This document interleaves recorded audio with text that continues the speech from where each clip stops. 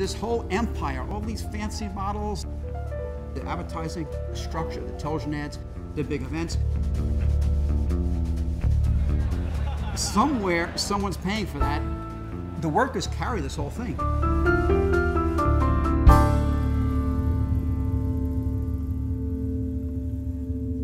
In 2000, a fire breaks out at 7 o'clock at night in the Chowdhury garment factory. This was outside of Dhaka.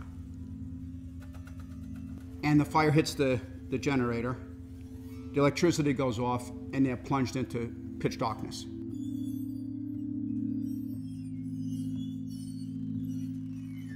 There was no fire equipment, there was no safety equipment, there were no fire drills, there was no alarms. The workers started to run, and they had locked the workers in, metal gates.